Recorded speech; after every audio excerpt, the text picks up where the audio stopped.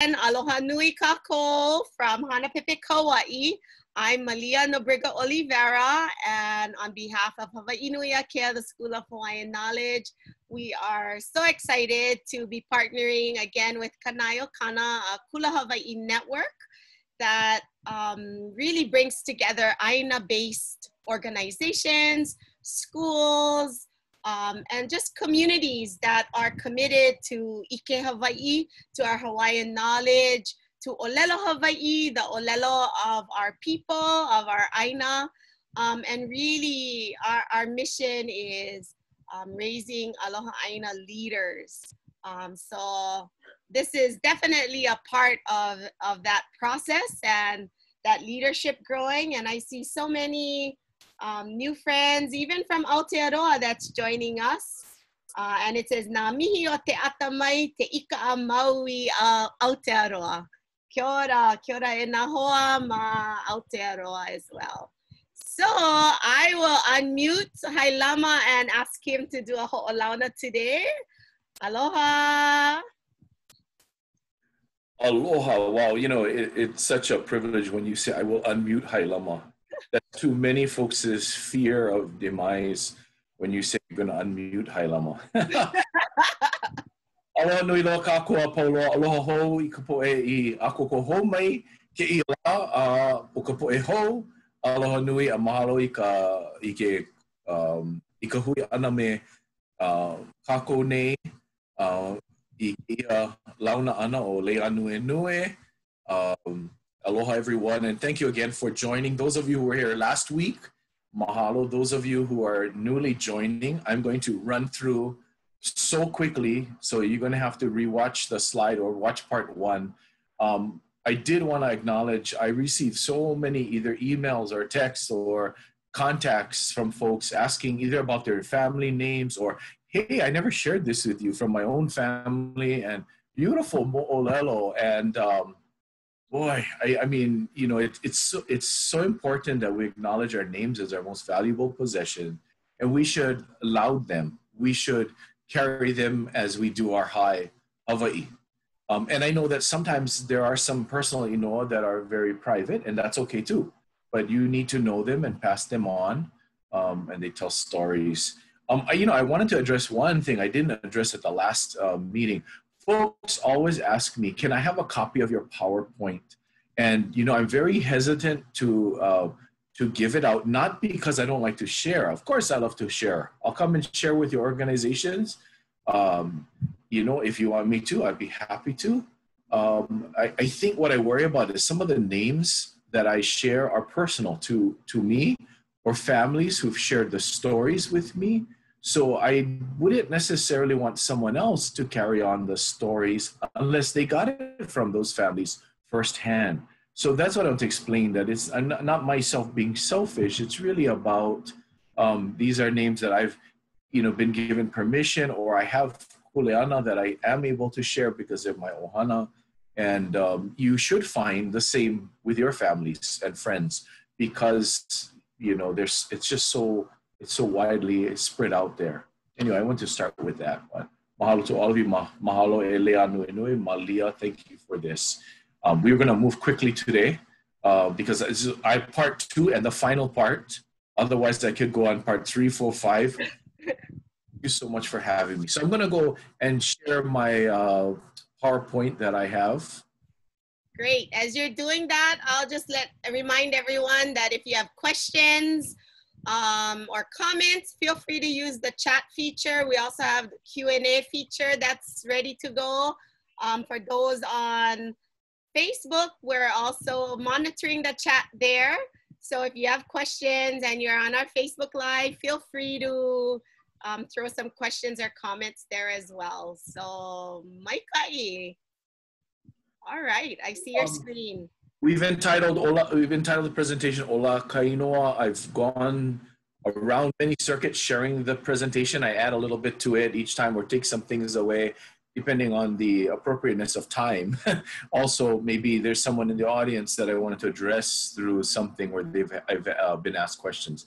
So Ola Kainoa is an Olano Eao. I kind of shared my own name, my legal name, Ilama Vansky Hapi Ilani King Ichi Farden. There's my grandfather, my maternal grandfather, whose name is King Ichi. I told the story about my taking on that name. I spoke that in Hawaiian. We ask who, when we asking Waiko, we know we're saying who is your name, not what is your name. Uh, it is your most valuable possession. There's no gender in traditional Hawaiian names. And you cannot just take a name because you like it. You should ask. I will talk about the oki of it. I said that for most of what I've learned about name giving, it comes from this beautiful woman, Auntie Napua Stevens. Just a beautiful, beautiful resource and um, uh, so much to share about Auntie Napua, which I did last week. Um, I gave some practices, started with ask, ask, ask. And that means um, ask your families, ask your uh, friends, you know, and just because I speak Hawaiian doesn't mean I necessarily know about some of the mores of name giving. So ask around. Um, I may not be the appropriate one you come to see. Um, and and by the way, what I share with you is what I know. There are other, I know other traditions out there, and I don't want to discredit that at all. Um, be mindful of kauna, and that means if you name a child something, be careful. Auntie Napua said something to me about the use, and, and and again, when I share this with you, it's what I learned. So if your name is this, don't get insulted. It works for you, awesome. But she she would tell me if people had asked her about naming their child Kai by itself, with nothing added to it or or you know, then she worried that the child could be un, as unpredictable as the sea is. That someday the sea is calm, tranquil, tranquil, and someday the sea can actually cause harm. So that's what I, that's a good example of what I mean by be careful, be mindful, just in case. And names are not puzzles. Uh, we got to remember that. Don't just put it together. And generally speaking, using name, family names are safe. Your family names, not somebody else's family. But generally so because sometimes families oki the name, and we'll talk about that together. And I, again, I end with ask, ask, ask.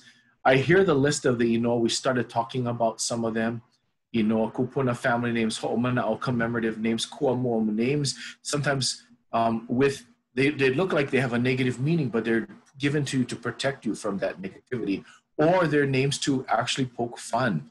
And um, maybe we'll have a few more discussions on that. Ino ulaleo, the, the ones that voices call out to you, you hear, you literally hear the voice. Ino moi uhane ino po dream names Inoho Ailona commemorative names after some event. And then, of course, Inomaki we'll talk about today. And that's probably unique to my presentation. Uh, we talked about Inoa Kupuna passed down from another uh, person. We talked about Princess Bernice Mohi Bishop in Hawaii Elua. Uh, we talked about people naming under Ho'omana'o. Like when Lilo and Stitch came out, they named the children Lilo. And I'd be careful because, again, as unpredictable as the winds of a hurricane are, you know, um, you'd be careful not to name your child after a hurricane without a punny. And we can talk about punny together. So um, I spoke on this last week. If you missed it, watch the update uh, or the repost. Uh, Inoa Kuamuamu, I shared them. Um, negative possible names that offer an uh, opposite effect. We might be poking fun at someone. Um, and generally, ma'i names might be that and I told you some stories there, and we look at our ali'i names. Um, so today I wanted to start off with this aunt of mine. Her name was Annette Elsie Kahuki Ayalo Farden Ryan. Kahuki Ayalo.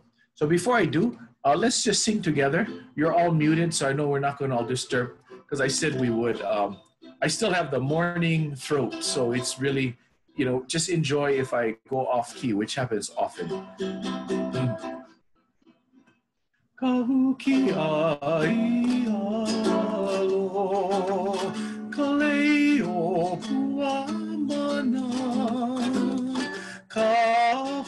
me mala haina.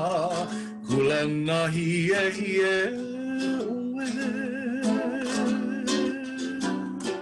kuini ona maka maka kuini ona maka maka kia lihi wahi ne aloha. Pūwai hai mama pi hai ke aloha na ka na ka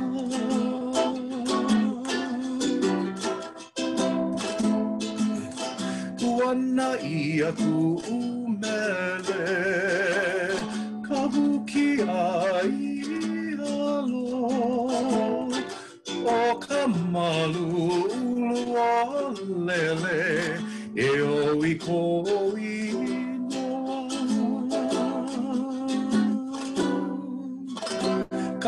Ayalo so I would uh, be happy to sing it uh, more and um, other more verses or more songs, but it's because we have a short time. I'm going to move on. So I'm going to take us back a step. Oops, I pressed the wrong way.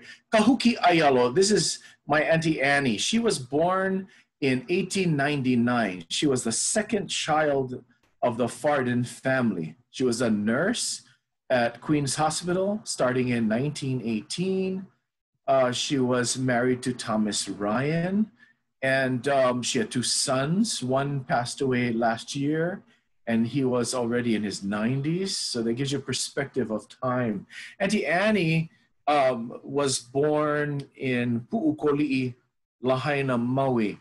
And her name, Kahuki Ayalo, was Aninoa Kupuna. She was named after a previous Kahuki Ayalo she was bothered by the name, so she asked, always asked folks, because uh, her mother never told her what the name meant. So because Auntie Napua was a very close friend of the family, she did ask, uh, and I believe it was through Auntie Irmgard, uh, for Auntie Napua to translate the name. Now, I'll stop there to say, people will come to me and say, can you translate my name? Or can you tell me what this name means? I want to I want you to know you'll see my probably body language be a little awkward. I might stumble. I might pretend. It might look like I don't know what I'm talking about, and it's because it makes a person very uncomfortable to ask them, "What does my name mean?" But I also believe that it's my role as a name giver, passed on from Auntie Napua, to offer something to you. So if I offer something to you, I'm probably saying this is one interpretation. So don't go around and say, Hailama said this is what it is, and that's it. So I'll offer you in the same idea how Auntie Napua offered to Auntie Annie. She said one interpretation could mean that you are privileged to sit at the table of royalty. Now, there's a lot to dig into this trans because she and I, Auntie Annie and I had conversation about that.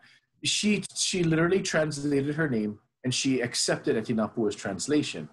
And she said, I'm privileged to sit at the royal table. But to break it down, because it's my family name, I will do so for your, you know, for your information. Ka, of course, means the.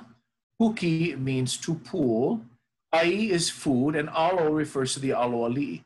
So again, I did something that you don't do. You do not take names apart and go, here's the puzzle, I broke it apart. But I'm doing this for your own purpose as if I were a linguist uh, dissecting a, a Hawaiian language sentence or something like diagraphing a sentence. So what this means is if you were able to pull, I mean, honestly, my other family, my tutu was related this to this kahuki She said literally it means to pull the food from the chief. So, okay. But notice how Auntie Annie accepted the idea that I am privileged to sit at the royal table. And that's what I call that um, kauna meaning. So what might be connoted or instead of denoted Denoted literally means to pull the food away from the face of the chief.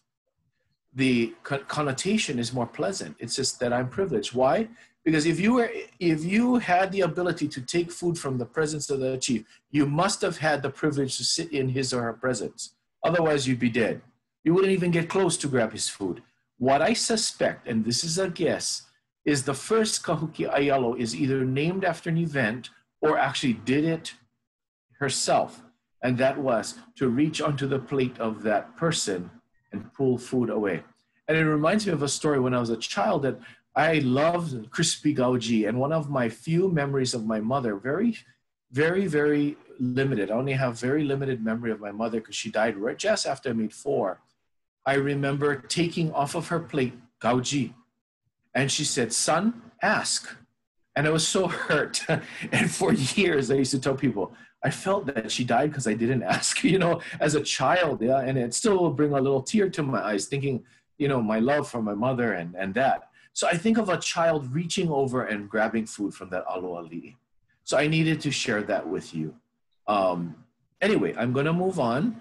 And Malia, you can always guard if you have see questions because I cannot see the chat or anything like that. Yeah, know, mahalo. You know, uh, just a quick comment. Um, I, I mahalo you sharing that about when people are asking about translating a name because I've kind of been in those positions mm-hmm. too where people have asked and then I, I kind of start stumbling, you know, and uh, yeah. because I feel like it's something, yeah. And of course I know, and because some of them are family members and then they're like, well, but my, my dad is not here anymore and it's a mm-hmm. family name and grandma is not here too you know and i said okay well maybe let's sit down then and let's talk about it a little more it's not something like i can just like translate off the top of my head and you know it's like a longer process so i'm mahalo you sharing that because yeah um, as, as language teachers we always get asked that yeah no matter what and and and we should feel safe to say let me share with you a, because they want to know that's why they ask us right. um, i haven't yet faced someone to say well that's not what I heard, you know, but um, I'm sure that could happen. Um, and just so you know, when I normally do the presentation, I, I do it with graphics or the, you know, uh, action and, and moves, but I, I kind of reserved it. So it's just real plain here because I want to make sure that you all can see it. Um, so Ino Ula Leo, these are, these are names that might be proclaimed and you hear them. I, I'm sure all of you have had an experience where you have heard something that you swear somebody said something to you and yet no one's around you. And our kupuna believe, yeah, that's a kupuna reminding you. Uh, when I was a child, I would hear my name called by my grandmother. And, you know, after a while, I thought, okay, I go home. And they said, were you calling me? And my grandmother said, yeah, where were you? But I was far away at the park or at the beach but I learned that when you get a ulaleo, be careful. Sometimes it's a warning to protect you. Now, that's another story. We're here about names that are Inoa Ulaleo. I find that I've received Inoa Ulaleo just as I'm waking up in that transition from Moi to Allah. So I am not sleeping and it's not a dream. I hear a voice. And I will tell you as a shortcut that voice 99.9% of the time is a woman. And I tell you that woman is Auntie Napua's voice. There was only one time where I heard a male voice, and I don't know who that was. And um, I'll t- I can tell you about that more. But and I just jokingly say sometimes hearing voice is not so bad because it's some wisdom coming to you. Some folks say, "Oh, that's my that's the Holy Spirit in me coming out and sharing Keakua's spirit." So wherever that comes from, listen to it. Sometimes it's warning you. Sometimes it's giving you manao. And and Kiahi, um, Auntie Napua's daughter, said, if you don't listen to it, it's gonna be taken from you. She told me so clearly. My mother shared with you so many hours. She gave you so much knowledge. If you don't use that gift, she's gonna take it away from you. I remember her telling me so blatantly, and as as Kiahi was, you know, and I'm I'm always happy that I had a very good relationship with her uh, she helped take care of my grandmother when my grandmother went to Lunalilo for her last months of her life. Um, I have a name, Ka'onohiokala Olinolino. I'll tell you a little bit about that after. Oops, going backward. I pressed the wrong button. Ino Moi Uhane, also sometimes called Ino Po, because they happen in a Po. But please know, you can have dream names in a day as you daydream. Well, if you're daydreaming and you're not sleeping, then you probably it's probably an ulaleo, or it might be a ho'ailona vision. But when you're sleeping and you're unconscious, I guess, to the world, those are ino moi uhane or ino po. Inspired by dream day or night, and they could be spoken in a dream, or even a situation could be brought forward to you. And so I, I've had many examples of a dream where I saw something happen, and then when I woke up, boom, the name came to me fast. And then I realized, oh, it was a reflection of that dream. Again, I will give you examples of these in just a bit. I'm covering the types right now. Inoa Ho'ailona. Here's an example of a Inoa Ho'ailona. I have this pretty picture, and I, I wanted to show both sisters because both of these sisters are the last two living sisters at that time of Abigail Pilila'au, one of the co-composers of the song Aloha Iyo Waianae and many beautiful songs like Neneu and others. The, the one who is sitting in the middle between my grandfather, you can see half of his body, and and Auntie Mercy Garcia is Agnes Kumaeva Kupanaha Pilila'au Kim. Kupanaha was a name given to her because as a child, and you know, this is the mysteries of life. I sat and recorded her when I was 16 years old. The tape, I made three copies. All three copies disappeared. So it makes you wonder. That's enough to say. Anyway, Mrs. Kim, sweet lady, very strict. In her old age, I realized she was a Manaleo from Waianae. She was the last known Manaleo born in Waianae. She was raised by her tutu. And um, beautiful singer, recording artist with Kawai Cockett. She recorded on uh, one of his albums. Beautiful uh, soprano voice. Anyway, enough said about her beauty. Let me tell you about her name, Kupanaha. So when she was a child being raised by her tutu, she was taken to what people call Pokai Bay or Pokai Bay. Pokai is the proper name. Uh, po, the Knight of E. I can go on that for hours. But if you look from where uh, the beginning of a place called um, uh, Omalaya or Malaya, which is closer to the rest camp side today, you look across, you see the hail, Ku Ilioloa hail. As a child, it's about the early evening. Her tutu took her to the beach. She sat there, looked across, and she saw Ku Ilioloa. She saw the dog. And she said the dog was not a dog, it was bigger. It was the um, kupua, the mo'o that lived at Ku Ilio, Loakane Ilio Point. And um, Ku Ilio Loa, she said, not knowing the name as a child of that of the dog, she said she looked across and she saw a tall dog. She said it had to be more than six feet sitting in, in a very dog sitting way, six feet tall or higher, and, and straight back. And she looked at it and she said, Tutu, we go home now. We need to go home. They took her home. She said, I was taught never to talk about these things at night. So the next morning she says, Tutu, I got to tell you something I saw. She said, I saw the dog, the dog for the point. It, and she described it exactly. And her tutu said, Kupanahaoi. And from then on, she was referred to as Kupanaha, which we know to mean Kupayanaha, astonishing. So that, that, that came, became a name for her that was given to her even after birth. And because of happenings, we can receive names after birth. And anyway, continuing on. Ah, so here's my aunt, um, Auntie Emma uh, Farden Sharpe was the number five child born to the Farden family. She also was born in Pu'ukoli'i, Lahaina, Maui on September 16, 1904. So Auntie Emma, as a very young girl, and you know, I could do a whole le'anui just on Auntie Emma and her hula. She took hula from the woman at the left. And I put her picture here because this is the only known picture of, of this woman. And, and I want to give credit to her. Um, Auntie Emma learned from this woman, Kauhaili Kua her name was Rebecca Kauhailikua Opunui. And she was a kahu at the time, and she, ref- she did not teach anymore. But Auntie Emma, at age 15 or, or before, there's some conflict in some of her interviews when she's, she went. Uh, in 1919, she was 15, and she said that's she was 15 when she went to, to, to Kauhai. Um, she asked her three times to teach her, and she refused twice. It was the third time. But that's not the purpose of my story. There's so much to it. After her Ailolo, she had an Ailolo and a Paina. Um, she was 18 years old, about 18 or before her 18th birthday. Um, Tutu Kauhai said, I have no more to teach you. So she has this performance.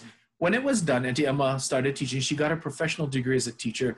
And then little, you know, a little later, she started teaching hula formally. So she was teaching hula right away, but not formally. Then she, she because Tutu Kauhai said, give your first dollar to God. She did. You know, she started to teach professionally.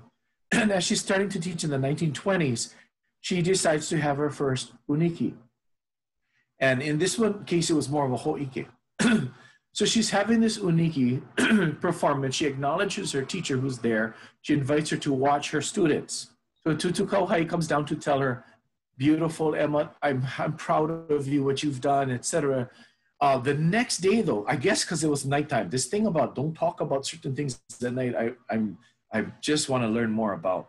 So Tutu Kauhai comes back to Auntie Emma the next morning. And by the way, the story I have, I'm so thankful because my cousin Pakala recorded her in 1984, I believe.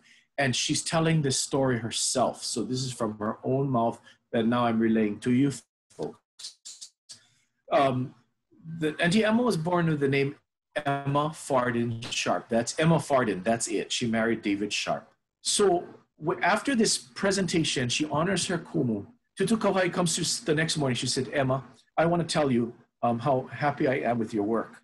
Last night, um, when I, or yesterday, when I, when I was at this performance, there was a rainbow beyond you in the back, background. It was very defining and it made me understand I'm, so she gave her the name Kapi'olani, this P.O. talking about that arch. And she gave her the name to tell her that what my what her interpretation is, the kauna behind it is no one will ever step over your head. No one will ever step on your head. And those of you understand the mores of Hawaiian culture, our head is sacred. It is not to be disrespected. We don't hit children in the head. That's why people do not hit the heke of the ipu, the top. No excuses oh, I have a hard time bending down. No, no. Our kupuna would not have done that. And there I go. Sorry, that's another Nui. Okay, Auntie Emma. So she took on that name as her legal name. Again, Ho Ailona. Here's an example from my Ohana. All right, now here's some family names on my grandmother's side, the Silvas. And um, I'm just going to touch briefly on them. I just want to tell you their names when we call out the names, we give them mana. It's oh, I feel like it's like them hearing us from heaven. Ah, oh, they're thinking of me. That's why we go to visit the graves, right? We call out their name. We pule mahalo kiakua for their life, and you know it's saying kiakua, thank you for the gift of kupuna. So Mariah Desdemona Kanihia Moy Espinda Silva. I will tell you about Kanihia in, in the next slide. Henry Curtis Kulekana Silva. That was my uncle and notice he's junior. So that tells you his whole name is Inoa Kupuna. Frank Ho'olulahu Silva. Ho'olulahu is a dream name. I will tell you about that. Ellen Kilipohi Silva Chalk. We know the word Kilipohe to be Kilipohe, like the sparkling rain. Um, I looked in the oldest newspapers, and most of them still spell Tutu Ellen. This is, um, remember last week I told you about all these aunties and uncles, and then I couldn't tell which one is the one generation up. This is the line I was telling you about. anyway, most of them do call her Kilipohi, even in the Hawaii newspapers, rather than Kilipohe. So I'm just going to accept it as an alternate translation or form of the word Kilipohe. Um, my grandmother, Harriet Kahelemo Ala Ala Silva Farden, and I will talk about her name. Annie Kekumokalani Kekaulike Silva, that's a beautiful name. I had to use it once in my family as a punny for a child.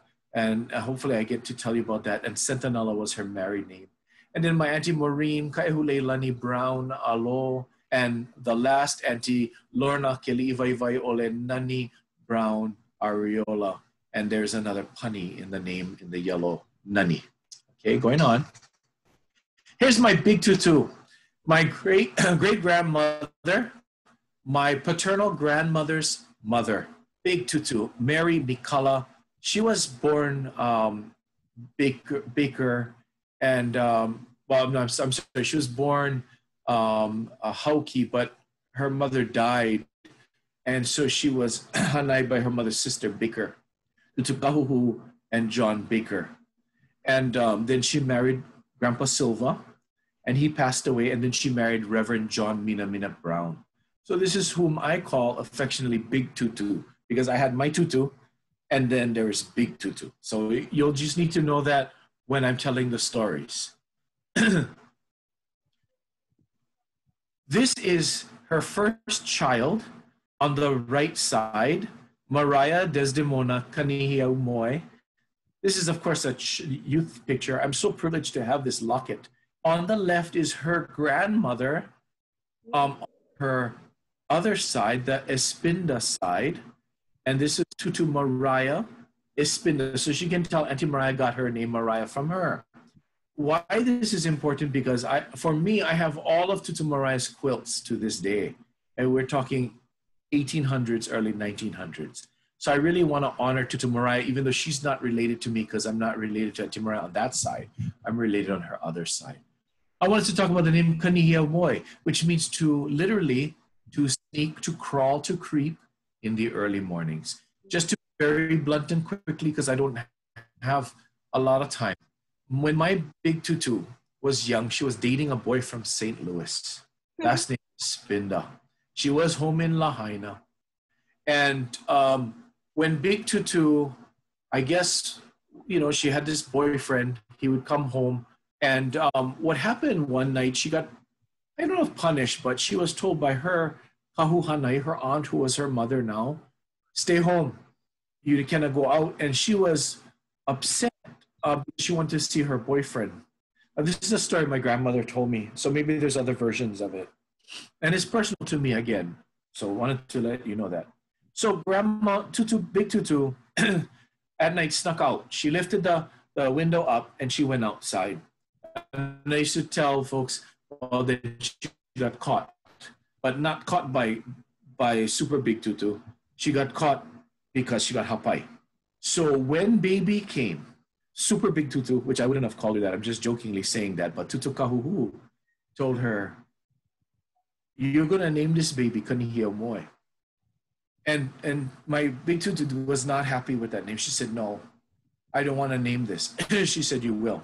Because every time this child's name is called Kanihia Moy, it's gonna remind you what you did to get hapai. Mm. But it wasn't about being punished because she was hapai. It just reminded it would remind her. Like I told you the story Hello Kane last week so this is poignant. Again, this is my personal family sharing this with you all. Um, I probably, you know, I don't think I would name my any one of my family members that, although it would be an option because it's my my auntie Mariah. And by the way, my auntie Mariah um, loved this name. She was so proud of my name. That this name that when when my grandmother had this conversation with her, she said, Mariah, you know what that name? She goes, I'm not, I'm just going to tell you, I'm going to take the beautiful part of it. It's a beautiful name, period. And that was it, you know? So Auntie Mariah was born in 1908. That's Tutu Mariah, Espinda, and Auntie Mariah um, Silva Jones, Espinda Silva Jones. Ah, this is one of my closest uncles. You know, I got to tell you something. All of my grand uncles and aunties, sometimes, you know, I pretend they're my own grandparents and they all treated me this way. I tell you that. They made me feel like they're my own grandparents. So I had the privilege of having 20 somewhat grandparents. They treated me this way. They kind of where they give you money, like their grand, you know, that kind of way, or they embraced you. Um, when they died, I cried like they were my own grandparents, wept for them. Um, and loved them, you know. And uh, like I said, tears come to my eyes when I see them. I think about them because of my love for them. So I wanted to tell you about Uncle Frank, um, and he lived to the good age of 96, I think it was. Um, Uncle Fululahui, when Benito was hapai with, um, by the way, Henry was Grandpa Silva. So he was the firstborn son was named after Henry, Grandpa Silva's brother. Next boy comes out is Frank. Well, he's also Frank. So that's how he gets the name Frank, you know, Kupona. But instead of taking on the whole name, Big Tutu had, was sitting under a mango tree one afternoon and um, I guess eating mangoes. And her mother approached her, and her mother had passed away already. And she said, You're going to name the baby Ho'olulahui. She said, She's kind of stunned, Mom, you, you know, you're not supposed to be here. You're gone. And she said, You're, I don't know if she said you're hapai, but she said, You're going to name the baby Ho'olulahui. And then, my, then Big Tutu woke up. She didn't realize she'd fallen asleep in the afternoon. So she's stunned because the dream told her she was hapai and that she was to name this child Ho'olulahui. In Hawaiian, you're told to give a name you have to do it, or the child could get sick. That's the belief. So when Uncle Frank was born, he was named Frank Olulahui Silva. And he used to kids. He had three children. Mary Bud, we call her Auntie Budgie, Auntie June, June Kalepa, and uh, Frank, he's not junior. Um, his name is Wilbur. Um, and um, we call him Uncle Son because he's the son. Well, anyway, um, the three of them were three. So he said, why did I get this name, Ho'olulahui, when I didn't have a lot of children? And I quickly told him, I said, Uncle Frank, because we are talking about names and stuff. I said, Uncle Frank, you are going to live a longer time because he was already old. I mean, he was in his 80s when we were talking about this. And you're going to see generations of your family. You're going to see a lahui. And sure enough, he lived to see great great grandchildren. Several descendants he lived to see. He and his wife were married for 70 years. What a blessing. Wow. His wife, my Auntie Adelaide Silva, died at 101 just uh, five years ago. So, uh, four years ago, sorry. But anyway, the beauty of the name that didn't say, oh, you can have plenty children, raise your own nation. Beautiful name. And it's carried down by some of his mo'opuna. Ah, this, these are my kahuhanai, my grandparents who raised me, my father's parents. So my mother dies at age four. My grandfather on my Oide side said, I was going to bring you home to me, and I would have been raised from my Japanese German side. But I guess, I'm guessing my grandparents on the Farden side snatched me first. And my grandfather told me just the other day we were talking about, he goes, I was happy that you went there. So I didn't put up a fight. I knew you would be taken care of. And and you know, maybe I wouldn't have been exposed to all the things I am for that. And and my grandfather acknowledged that. my grandfather Oide. so my grandparents were married for 68 years before grandpa left us. Grandpa's name is Rudolph Godfrey Haleakala Farden Sr. I always ask you to ask, ask, ask. Here's a good reason. I never knew my grandfather's name was Godfrey. It was his baptismal name, supposedly, he said. When after I interviewed him, my grandparents had been married for about 60 years. I ran to my grandmother Tutu and said, Did you know your husband's name is Godfrey? She didn't even know. She was married to him. So you got to ask those questions. What is your full name? How did you get it? When you ask your kupuna, how did you get it? Who named it? What is your interpretation? Why Rudolph? Why with the PH and not the F? All of those questions you have to ask. So you and Haleakala was named by his first cousin, which he called his auntie, Lucy Allen. And uh, she named him um, Haleakala, and of course for Maui. And because she named him, she, he became her punahele. She used to come to the fire station when he was a fire officer just to look at him because that was her, she named him. See how our kupuna are beautiful. So I'm going to jump to my grandmother, Harriet Kahelemo Ala Ala Silva. I'm going to quickly say that there were a lot of deaths in my family two deaths specifically of women who carry the name Kahele. So at a certain point, they okied the name, never to use the name Kahele in my family. Again, Malia, your family could use it. That's up to you folks. But my family, it has been okied. Why? Because they, these women were giving birth and dying or died at a very young age. So my kupuna unsafe, don't name. So what did what they did was when Big Tutu got hapai with my grandmother, 1916, um, Uncle Hailama, there's the case in point connection to me, said, Tita, the Portuguese, which was her husband, Silva, Hawaiian too, by the way, he was in Ewa playing baseball. He played professionally for the Lahaina plantation and, and Ewa, and he was in Ewa. Um, so Grandpa Silva was away, and Uncle Hailama said, the Portuguese naming all the kids after his name Henry, Frank, Ellen, and and then Annie. The next one was two comp. I'm sorry, Henry, Frank, Ellen. The next one was Irene, and she used to say, "Oh, thank God I'm not named Irene," or else they would be singing the song Irene Goodnight, which was popular at the time my grandmother was young. Well, anyway, so they named her Harriet after the tutu who gave birth to my great grandmother, to, to, to Big Tutu, Harriet Hauki. And then added her name, Kahele, Oh, the family was in uproar. You cannot name this child Kahele. We okay this name. And you know, Big Tutu was just humble. She sat in between this tennis match of the family battling. So what he did was he took another family name, Mo and stuck it to Kahele and made a punny. In essence, he created Inoa Kuamuamu, which meant to go around scavenging like the Mo'ala crab. That's what the name Hele Mo'ala means.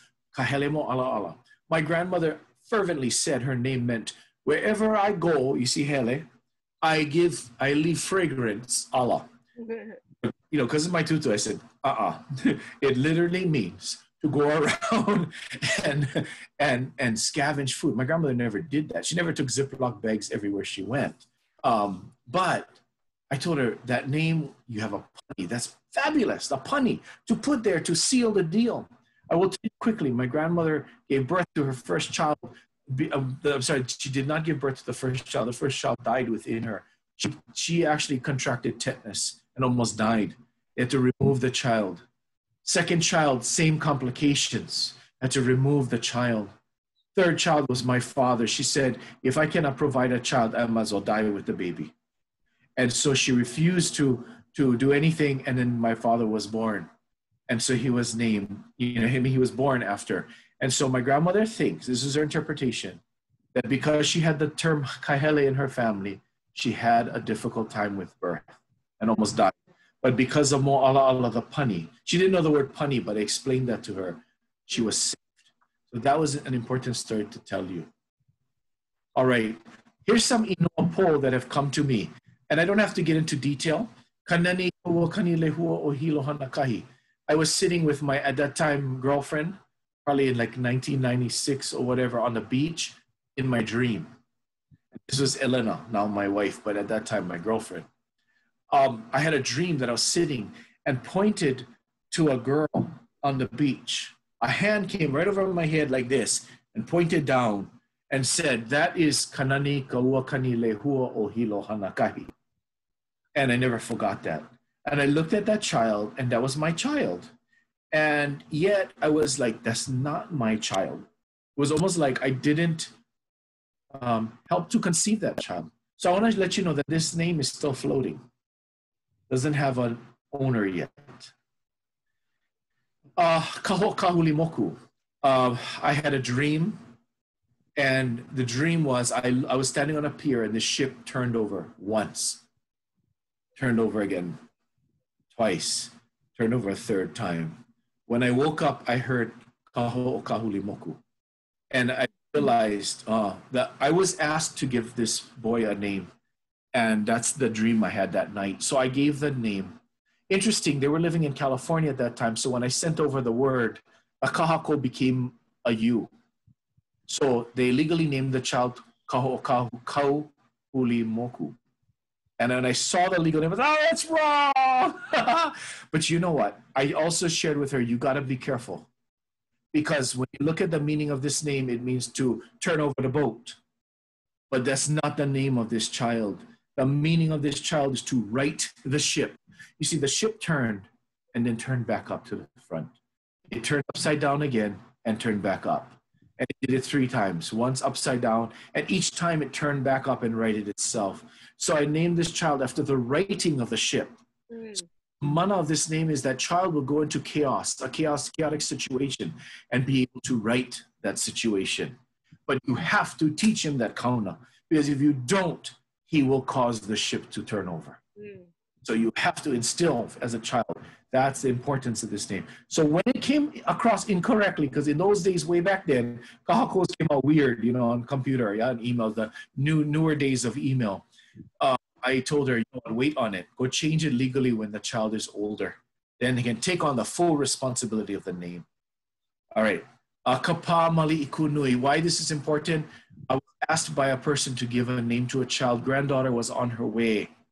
So I had a dream. I saw these beautiful royal palms standing stately, and I was like, this is the name. I didn't hear the name. I was told, this is the name. And I woke up. And I realized right away came to me Kapama Kapama Liikunui, the royal palm that stands majestically. As an ulaleo, I was told that after I. And then I called the woman, I emailed the woman that night. Here is your granddaughter's name. It came to me. Her response to me was, Wait, I didn't come up with my vision yet. I was going to give you my vision in English, and then you tell you interpret that. Oh, I want to tell you, I was so hurt and so upset. Hey, when a gift comes like that and a name Inopo, I was taught you got to give that Inopo for the protection. So I tried to, I tried to tell her, but she still didn't use the name. But I figure one day when that child is older, that child's to come see me for something. And I'm to say, you're like my tutu did, your name is supposed to be Kapamali Ikunui. So that name is waiting for that girl. She goes up. She's probably about, I want to say 10 years old now. So maybe another eight years she might come find me. Um, Ha'aheo ho'ikale kalehua and Ha'aheo ho'ikale lehua came to me in a dream. I cannot get into the detail because of time, but it's a beautiful story where I was asked to name two babies, one of which is my nephew. When the name came to me, I heard the voice, Auntie Napua, I'm just going to say it's her, telling me as I'm looking in the rearview mirror, I didn't see her, but I heard her voice say, You will name the child Ha'aheo ho'i kalehua. I'm sorry, Ha'aheo ho'i kalehua. And I said to the voice, No, and then I was so puzzled. I went, which child is this for? There's two of them that I've asked. I went to Illinois, I said, first impression. She goes, okay. I told her on the phone the story. She said, you got both names. The first name you asked, and because in the dream I said, is this for the blank family name or is this for my nephew? She said, the first one gets Ha'aheoho. The second one gets Ha'aheoho. By the way, I understood that the lehua was from Kauai. Both families have Kauai connection. Was a Kauai lehua. And I will also tell you that my cousin, who's the mother of this son's name is Kalei. So when Lilinoe told me the second one goes to your nephew, I was like, oh my gosh, I didn't see that. Kalei is right in there. That you are the pride of the lei lehua. Mm. The other one is you are pride, the pride of the lehua. All right, Onohi Okala Olinolino was an ulaleo, I was waking up right before Dr. Michael Chun retired. And I heard Auntie Napua, this time I saw her face. Just as I'm waking up, I saw her and she said, Oh, I was almost in tears. I immediately emailed Dr. Chun to ask him if I could be so rude to give him a name at his age. He's not a child. He to me, I see him as superior to me. Can I give you Boy, he responded so gladly. He said, I was so close to Auntie Napua. I think we're family, etc., etc., etc. He said, Yes, I accept this name. So the Kamehameha students and with the help of teachers composed the Mele Noa. For, and we, we, you can see that right there. All of the students behind him, he's wearing a lei that was created called Ka'onohio Kala'o Lino Lino. The students of the whole student body chanted that chant, Inoa Mele Noa, for him. And he was presented his name officially in front of the whole student body. Um, one of the more important dream names I'm, I'm not going to skip is Kamake'eaumoku. I want to share with you that a kupuna that was very dear to me, and especially her granddaughter, who was my dear, dear friend, said to me, My grandmother is passing away, but she's not passing away really, but well, I guess she's passing away and fading. And she said, um, Oh, here's my little one. I will, uh, she said, um, you know, may say some pule or whatever. That night, I dreamt I was in the governor's uh, office, and she ran to the door, this friend of mine, and said, "Oh, don't forget grandma's name." Um, by the way, she doesn't call her grandma, but I'm using that for generic. Grandma's name. Her name is Kamakee Aumoku, and you remember how know how particular she was. So in the morning, I called her, and grandma is now in hospice care, fading. And I called her and I said, Grandma has a name, yeah? And she said, Well, she uses this, but she really doesn't have. I said, You know, I had this dream. I told her about it. I said, You know what? Go whisper this name into Grandma's ear, and maybe it'll allow her to go. That's why I call it an Inuamake. And, um, and so Grandma passed away. So what I didn't realize, I was telling this story two years, three years to my students when I was talking about Inoa. But I just, I almost died of of excitement one day when I mispronounced the name rather than uh, Kamake'eaumoku. I pronounced it Kamake'eaumoku. See, Grandma's husband was a mo'opuna of Ke'eaumoku. And although they were married, they were having some difficulty before, before Grandpa passed away. And maybe, you know, for personal family reasons. And I felt after a while, I realized Grandma needed to reconnect to Grandpa's genealogy. And so that's name, this name that would take her with her, linked her to Ke'eaumoku. I, I mean, I tell you about the biggest chicken skin you could ever have. And when I call, I'm crying. I call my friend. I tell her she's crying on the phone and realizing this is gotta be what it was. Two years after Grandma died, did we realize the purpose. I cannot tell you any more about Inopo. Gotta move on. I want to about this beautiful woman. Get this book if you can find it about Tutu Emma Kauhi. Um, but anyway, Kaumuali'i are ali'i names. Kaumuali'i is so sacred. Um is the imu that was above ground where we put religiously our ali'i in to separate the pela, kapu, the sacred flaps of skin, um, and then prepared the bones. And, and so that's sacred, that name Kaumu, Kaumu ali'i. Na pella, and I'm dividing these names against you. You can see, don't do this, okay? Um, I think ruling chiefs does this too, Kaumu ali'i. Na pela kapu o kakae, talking about those flaps of skin, I told you, that sacredness that were placed up in kakae above Iao. And this is also a rank of folks carried in Kapi'olani's lineage, Queen Kapi'olani's lineage, sacred skin, or uh, not skin, but you know, meat, flesh that was taken up to kakae. Um, Kuhio, I, you know, Malia knows the story, Hawaiian Civic Club. Um, when I asked Prince Quentin Kuhio Kavana why, why would they name Kuhio? Because Hio means to slant. And he goes, no, no, no. Our interpretation is to stand and lean forward so you can anticipate that which is coming. Beautiful. Another name from that family, Vahihi Kahu'ula, Vahi Kahu'ula, to be wrapped by the Ahu'ula. That was Princess Abigail. Vahi Kahula Kawananakoa. Of course, her Mo'opuna, who's her legal daughter, our living Princess Abigail, um, Vahi Kahula uh, Kinoiki Ke Kaulike Kawananakoa. Um, and then there's Tutu Kauhi, Emma, Martha. Look at look at these names, how they almost repeat themselves. All came in uh, in dreams or or actions that had come. Ka punohu ulokalani, ka ohai ulokalani, ka, uh, sorry, ka onohi ulokalani, ka ohai ulokalani, stone kauhi. Again, that's a, go read the book that was written. I hope you can find it. Um, but, you know, I don't have time to get into all of these. I'll just share, this is my niece. This is a long time ago. But when she's born, she's 14, 15 now. Will be 15, I think, this year, next month. Um, when she was born, all of the coconut trees at Puamana had to be cut down because of their age. And as you know, my family, they planted coconut trees. Each sibling did. And they were told, as these trees grow, so will you. Only one sibling was still alive, I believe, when the trees finally were cut. No, two siblings were still alive, the youngest two. Um, oh, three. My grandfather was still alive too. Um, at any rate, when when Namahina Kawabata was born, this is my um, my cousin Hola'aumoku's granddaughter. Um, I asked if we could name her Naniu Kukilakilo Puamana to remember that at her birth, at the time of her birth, these coconut trees were cut down. So I asked that she be given over 100 years of life so that for those 100 years she could continue telling the story about these coconut trees, which were her kupuna, our kupuna. I would always tell them even though the trees are no longer there. Um, here, baby, come. Hosanna, come, look. Here's your picture. See, baby? So this is my Hosanna today. So we named her Hosanna Nui Yayasu. This is a baby picture of her with the Lau Eva or Eva Eva. Her name Hosanna Nui Yayasu. As Ellen and I were a little older when we had her, probably not supposed to have any keiki, but Keiko blessed us. So her first name praises God, praising Jesus, Hosanna Nui Yayasu. So that every time she's called Hosanna, others are helping us praise Hiakua for her blessing. Mm. Noah is a family taupo name.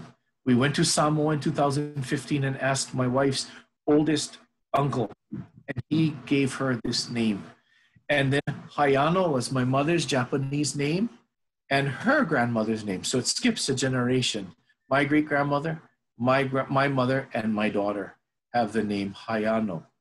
Uh, Genevieve Sistine. Genevieve is one of her godmothers. Sistine, because my wife, believe it or not, loves the Sistine Chapel. So just because she liked it, she used it. Oh, broke a couple there. Huai Fa was Sarah Kiahi's Hawaiian, uh, Chinese name. It is her, I should say, her name. And she's my Hanai mother. So I asked to give her because my baby is Chinese too. So she gave her name. This is Totutu's name. Huaifa, which is the beautiful small Chinese flower. Kalau Iva Iva, Kalau, Lau, uh, Kalau uh, Robbins is one of her godmothers. So we add Kalau Iva Iva to remember uh, Kalau. And this Iva Iva plant was around us so much, in the birthing of Hosanna. So I had to put that in. Kialopali o Ha'upulani. Ha'upu is Melepang, her godfather. Mm. refers to Kalani Solar. Is not her godfather, but just as close. You know, I stuck to the traditional one godfather, but Elena picked two godmothers. and then Beautiful Kauai is a song my father wrote. So I put it in there because that connects to him since I had my grand my mother above.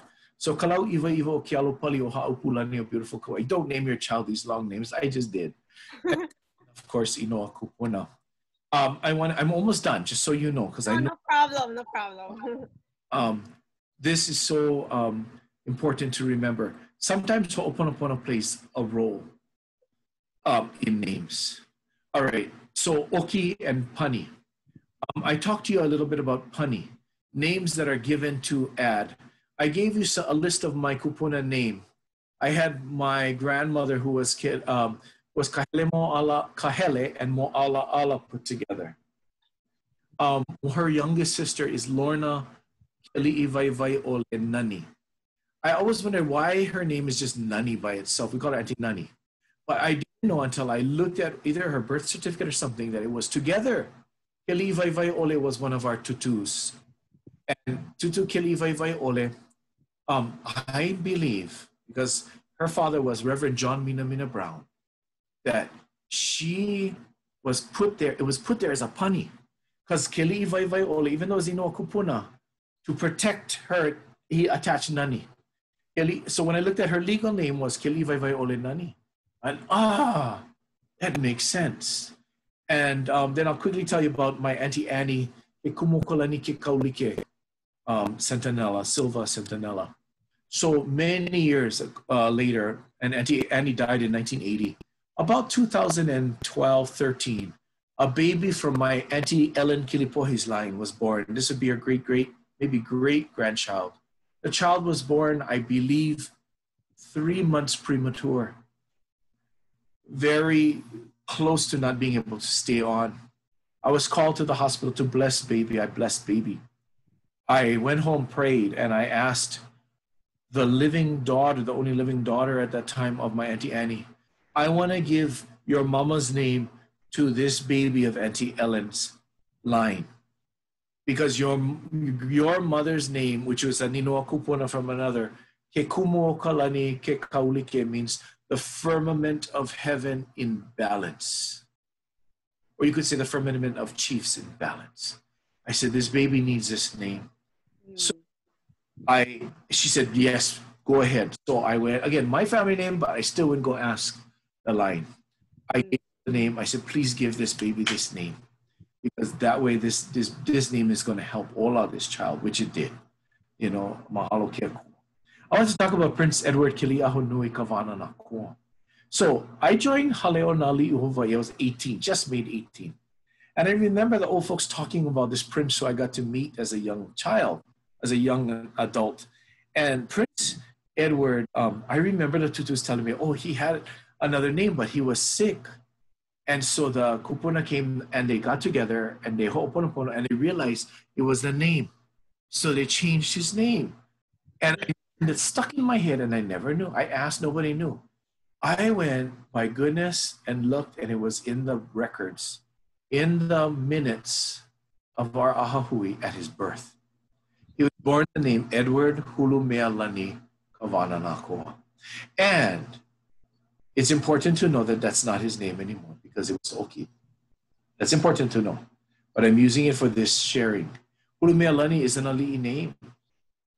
But I guess the kupun at that time said it's not fitting for him.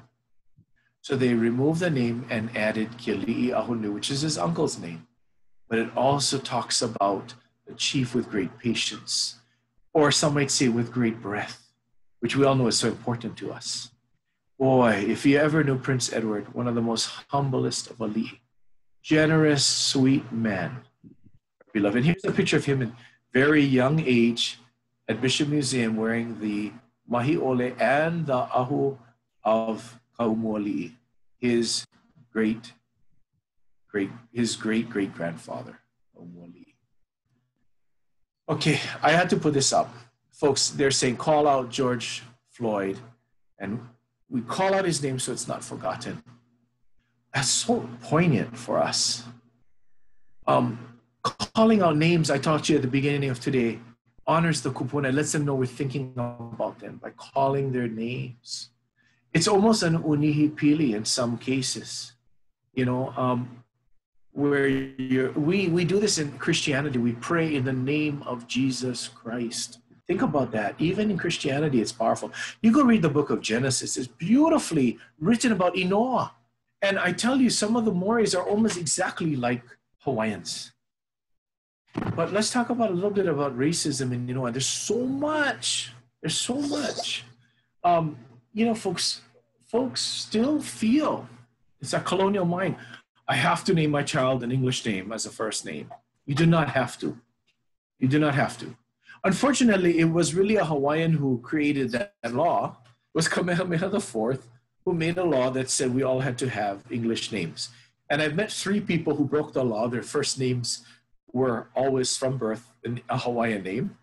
Um, and it really was an effort to get them to have Christian names to be baptized and have. That was really the effort. So the, the feeling was to, to help save the people. But people still feel that they have to do that. You don't have to. Some people even feel you only can have three names. No, you saw my daughter's name, more than that. One thing that stuck out this morning as I was thinking about this, or last night, I, I, I, I was looking, working at this about two in the morning. I was thinking, you know, I was I'm so insulted when the queen was standing trial. She's facing her traitors. They refused to address her as Her Majesty or, or Queen. Of course not, because insults, right? But the fact that they continued to call her Mrs. Dominis, added Shoyu by adding a, a on Mrs. Dominis, almost attaching her to her husband's name, denying her any humanity of the dignified, humble, not just ali'i, but woman she was. Mm. You know, today people are forgetting, oh, why should I call the Kawananakoas ali'i? You know why? Because our Kupuna did. Because our ali'i are no longer ali'i if our people stop calling them by their ranks. It was the Westerners that came here because of the English connection before when they said, no more kings, no more ranks. They applied that to us immediately in 1893. And yes, even to the last person who legally carried the title princess was Abigail Kawananakoa. Mm. Yes, because Western law says that, folks. Are a lot of ali'i lines. We need to understand that and respect that. So I tell you that because every time we don't perpetuate that, you might call Kuhio. Now I do it affectionately because I feel like I work for him, but I really, in public, I should say Prince Kuhio or Kamali Ikane or something like that. Gotta honor these ali'i. Um, anyway, that's enough said. I can talk a long, a long time about this. A colonialization of names, the personal names. You know, when my great grandfather's father was born, John Mina Mina Brown, his name was Mina Mina and because the school people didn't want it, they named him, no, your name is John Brown. They just labeled him John Brown. Go read American history about John Brown. They named him John Brown versus Mina Mina, valued. So that has happened to many names, folks. I bet a lot of you in your families have names like this. Um, Inoa Aina, Today, we talk about the colonized vision of taking names and changing them. Um, Lanikai is a great example. Kauhao. And, you know, I've been reading Facebook things and people are just helloing these names of wrong, saying this is what the correct name is. Correct, you are correct. But one thing I want to share with you is Pearl City is not necessarily wrong.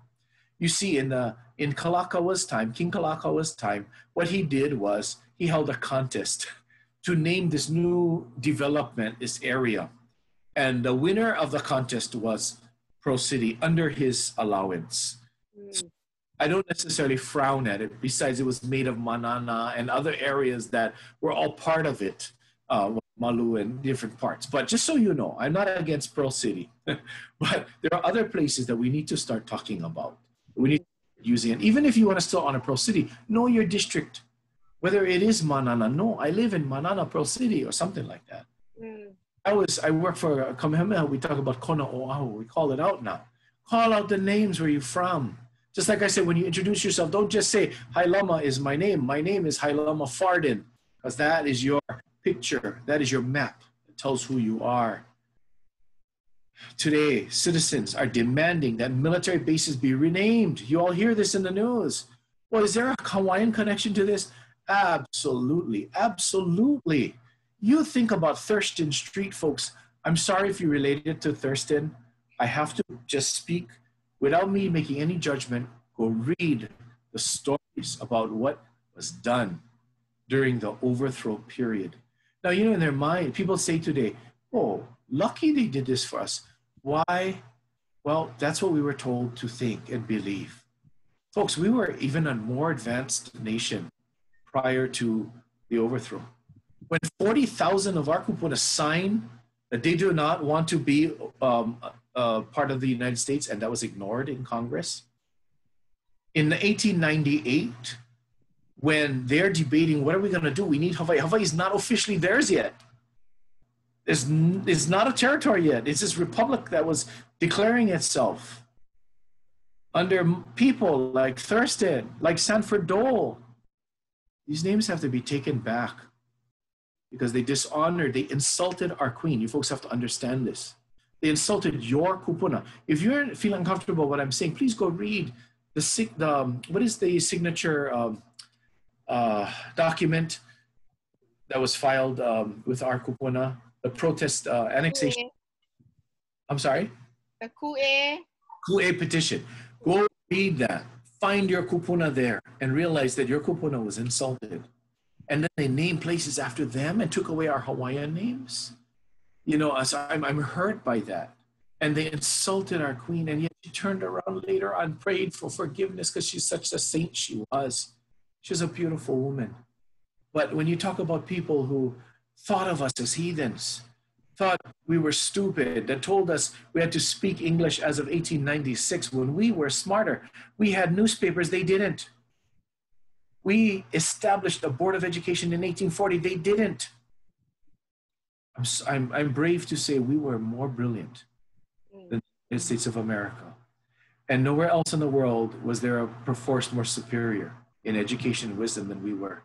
So the best way to do it was to smash us down in the 1890s. Go read it, folks. It's all there. So in 1898, goes before Congress. We need to get to the Spanish-American War in the Philippines. What do we do? Well, we need the base. So this general by the name of Schofield, I don't know if you've ever heard that name before, and this is congressional record. You can read this in the United States Congress records. He says, let's just say that Hawaii declared war on us. You see, the, the idea is if, if you declare war on the US and you lose, then they can take your Aina with no cons, uh, consolation. They can just take it because you went to war. We never went to war with the US. So he says in congressional record, knowing that we would never be able to research it like we can today. And he says, tell them, just say that, the, that Hawaii declared war on us and, and, and they lost. Mm. They did, they declared us a territory because of the Spanish American War. And then they took over Kapi'olani Park and had a fort there. And then we become a territory in the legal eyes of the United States. Well, there's just so much of that, folks. Don't be afraid of our history. It's real. It's real. It's real. It's real. It's not Hailama making this up. I'm not this radical that's you know yelling down the street. I'm, I'm just passionate that I don't think we've ever been taught. I, I was sitting in a situation where a Hawaiian educated woman said, you know, they talk about these things because they don't. And I wanted to say, you don't know. You don't know. Gotta read. Our queen wrote a beautiful book, Hawaii's Story by Hawaii's Queen. So, folks, we have to start addressing these things. You know, consider Dole Street, Dole School, consider um, Thurston Avenue, Thurston Street. Consider these names that insulted our our kupuna, insulted, and, and they cannot hide it. Think about Waterhouse when the Hawaiians were when he when somebody had asked in this group of committee of safety, safety, who's safety?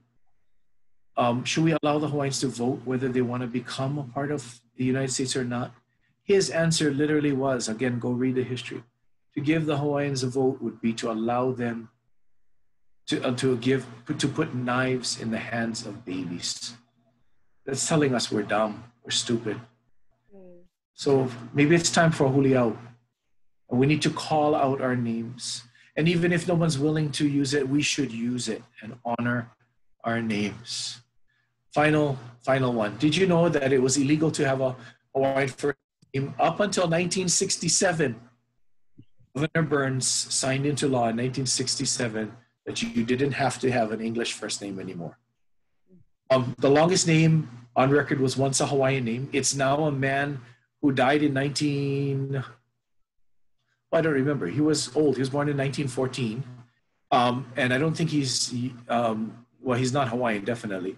But his name, he has one name for every alphabet, uh, every letter in the alphabet A, B, C, D, E, F, G.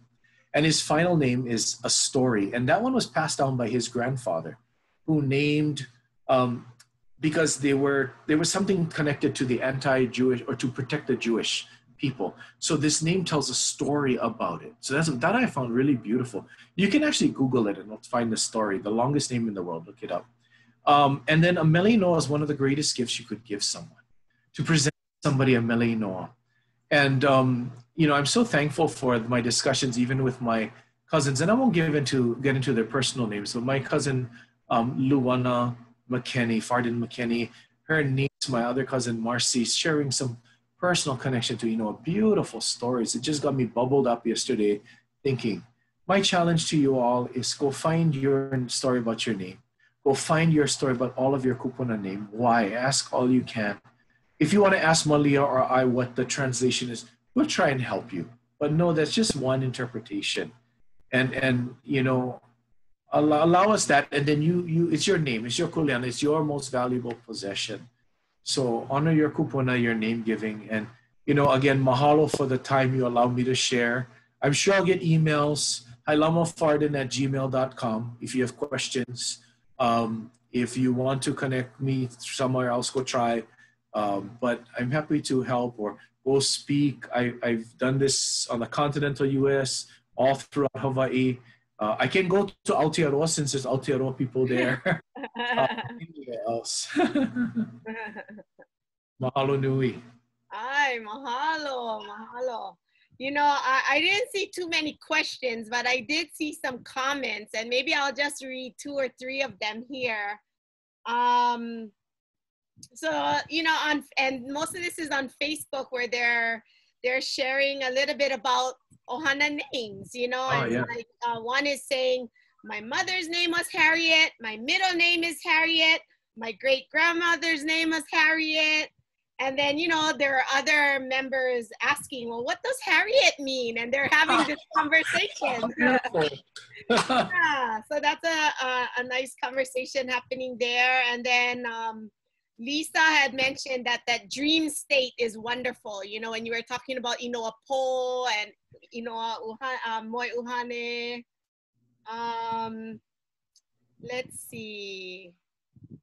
Oh, and Aiai says, Mahalo nui e Hailama for sharing so many personal mo'olelo. Mahalo. Um, I'll go read the Facebook comments after. I can still see it. Yeah. After. Yeah, yes, yeah. you'll be able to see them. And then the last one, um, Kaliko Baker um, commented and said, Nui ke akamai o Hailama ha ha imaila i kana awao e vaiho mai nei mana inoa kupuna mahalo nui. Ai, really, mahalo. Yeah, so mahalo again, Hailama, for sharing all of these mo'olelo. And oh, I know one question I did see really quickly um, was about um, like a name like Kealoha Pau Ole, mm. and the words Pau and Ole. Yeah. Name any any mana'o on that? Sure, sure, sure.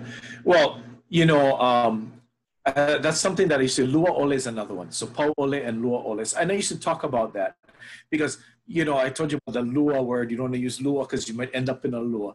But the Hawaiians really believe they they use that Ole as a punny. So the double negative becomes a positive. So ole, pau ole, you know, and even like ana ole, kalani ana ole. Ana, it means measure. Ole means without. So I don't know, the ali'i seem to be safe, even ending on some of this um, you know, but some might say, oh, but Kalaniana'ole didn't have children. Yeah, but the Kalaniana'ole before did, you know, or something like that. You know, um, I, you don't always have to read into it. Just listen to it and go, yeah, this is probably a kaona. But yes, those are double negatives to to create the punny to make it positive. Mm. Oh, mahalo nui. So again, um, mahalo for sharing and you know, you're welcome to come back and join us again. I know there's yeah, so when are you gonna start up again after after July? Because you're gonna do month monthly or weekly now. Um, yeah, so starting um, next week we'll be doing only on Fridays. It'll be a weekly.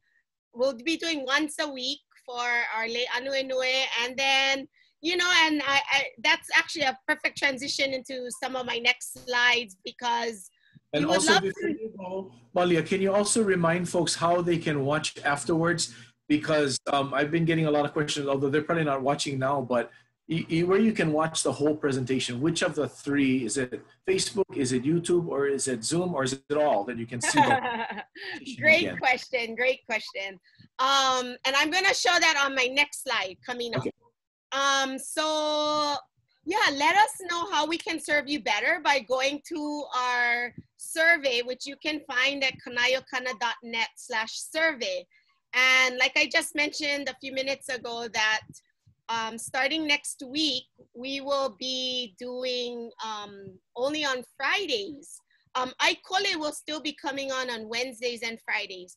But let us know is, um, you know, the frequency. Are you, do you like it? uh, three times a week, you would prefer us to stay at that, or one week, um, once a week for now, and then maybe when school starts up again. You know, we're we're trying to find that balance, um, especially knowing that our our situation keeps uh, changing on on the regular. So you know, we're wanting to serve you better. On the survey would be a great place for you to tell us a little bit more, or even in the comments on Facebook um, we do go and, you know, hello, hello, and read all of that. So please uh, let us know there. Um, so you can also find our schedule at kanaeokana.net slash lay. And on there, on this schedule, you'll also be able to go and see all of our past shows and there's links to all of the recordings. So of course, the immediate recordings will be available on Facebook. Um, and then we are um, also working on getting them up onto our YouTube channel as well as our Vimeo channel. And again, by going to the schedule, you can find all of the titles, our presenters, the links are all there. So you can go to kanaeokana.net slash lay. Um, and then, as you can see this week for Lei Anuenue, coming up um, on Thursday, Ka'anoi as well as Ka'ena will be joining us to talk about Pa'u writing, Wahine Hololio, you know, and we just um, finished uh, honoring Kamehameha on Kamehameha Day. And, you know, a Pa'u riding um, was a, or is a big part of that celebration on the different islands. And so I, I invited them to come and talk to us a little bit about that history and just all the mo'olelo that goes into that preparation process. So come back and join um, these two Wahine Hololio that will be sharing that mo'olelo. And then Kalani Hiapo will be joining us on Friday to talk a little bit about uh, exciting summer program that he's putting together um, for, for keiki of different ages. So come back and learn more about that. Of course, Aikole. Look at these um, fabulous presenters that will be coming and joining our host, Ekela Kaniaupio-Crozier, on both Wednesday and Friday. And I, I'm sure many of them look very familiar to you. So again, you can go and look at our schedule and find out exactly uh, what time these are happening, and then also um, the links to directly finding the live links as well as the recorded links. So again, mahalo nui loa. Um, follow us both on Kanaeokana as well as Hawaii Nui Akea's Facebook and Instagram pages. And again, I welcome you back on uh, Wednesday evening as well as Friday for our new webinars that Hawaii Nui Akea will be hosting. Um, so really exciting times. Um, yeah, so mahalo e Hailama no ko hai mo'olelo ka'ana mana'o me ke aloha. Um, and again, mahalo to each of you for joining us in today's Lei Ānuenue session our second part of Ola Kainoa. Mahalo, aloha. Yeah.